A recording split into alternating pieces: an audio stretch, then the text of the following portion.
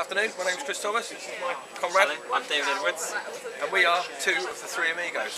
Our third amigo hasn't made it here today because he's moving house, but uh, us two are here, and here is our sturdy vehicle, a 1.6 Hyundai Elantra that's been made to look like a fake Subaru, Name Stan. named Stan of course. Um, yeah, with a bit of luck and, uh, well, just luck actually, that's all we've got because we haven't prepared anything. With a bit of luck, this thing is going to get us to Tajikistan without too much problem. I think so. Fantastic. Yeah. Thank you very